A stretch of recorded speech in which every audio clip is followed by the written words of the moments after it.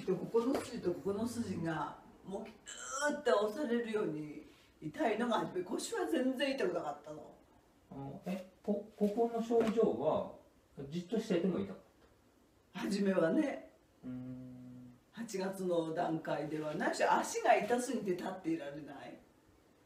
はあはあはあ。うんうんうん。でそれ引っ越し終わってから終わってから終わってからそうだね。1週間から10日ぐらい経ってからもでも引っ越し中は別にう、うんん、そなに、なんかちょっとひねったかな。ぎっくり腰私癖みたいにたまになるんですあよ。あでもそのうち治るかな。と思っぎてっくり腰とは違うんですよね。ここだったから、うんうんそうそうそう。でもうん足なんでこんな足が痛いんだろうと思って。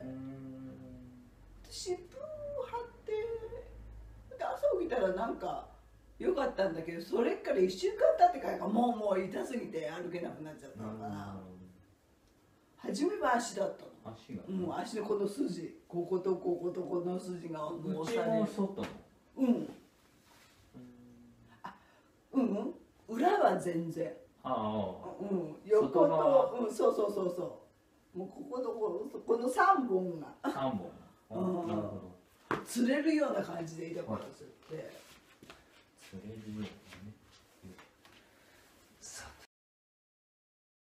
痛いけどさっきよりはちょっと行くかな、まあ、行くには行くんだけどね、うん行きますね腰に行きますここここの途中が痛いここまで来ちゃうと痛くないんだよねここがここが痛くてここまで来ちゃうと痛くないの。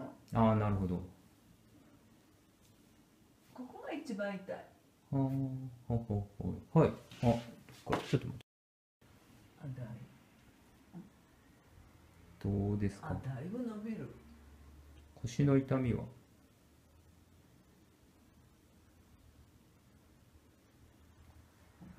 探しますねその途中が痛かったんですよね。そうそうここがねここ、あ痛いんだけどさっきの痛みとはまた違うね。違う感じ。うんうん、まだ残ってます？まだ残ってる。うんうん。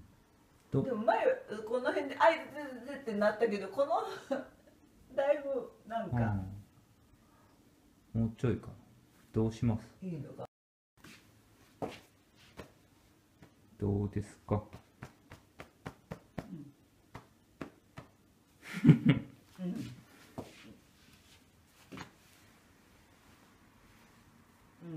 うん。いいような気がするよいいような気がするまあすっきりっていう感じはないん。だと思うん。ですけどまあすっきりってね1回や2回でそうはいかん。じゃん。ねまあい一応最短を目指してるんですけど。いやまあただちょっと経過が。肉離れをここで起こしただけでもさ1か月ぐらいかかあるよ。肉離れはね。ああですけど。まあまあまあままあまあでもほん本当に本当にさっきこうだったら「いてててて」って言ったけど、この辺で「いてててて」だな。あよいしょ。あ楽かも。あだいぶない痛くない。うん。スムーズに前に行ける。いいですね。今まであああ痛ったったまあ羨ましいぐらい柔らかいですけどね。柔らかくはないでもうん。なんかスムーズに。ここんな感じでまたやります。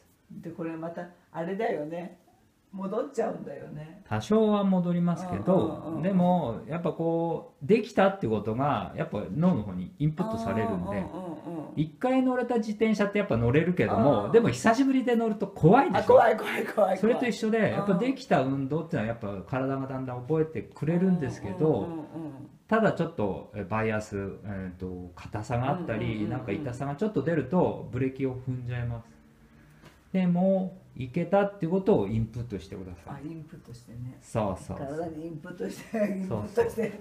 そんな感じです。あちょっと